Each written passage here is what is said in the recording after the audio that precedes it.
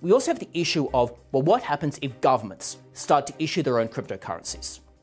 Well, this I don't see as being a huge advantage at all, and I don't see that necessarily being an advantage over Bitcoin or whatever.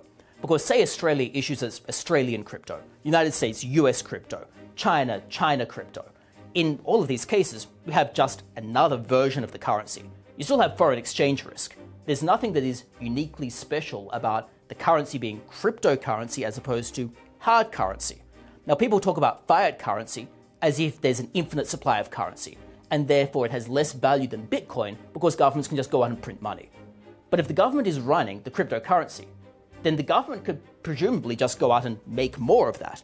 So you're still going to get that concern that people had about inflation with a government crypto.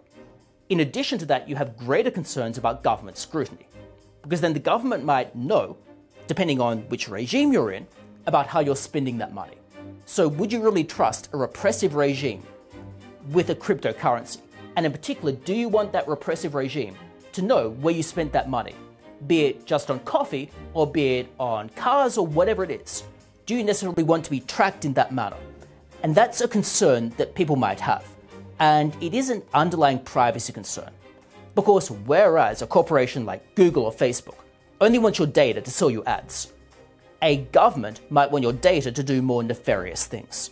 So it's a legitimate concern that might arise when you have government cryptocurrencies.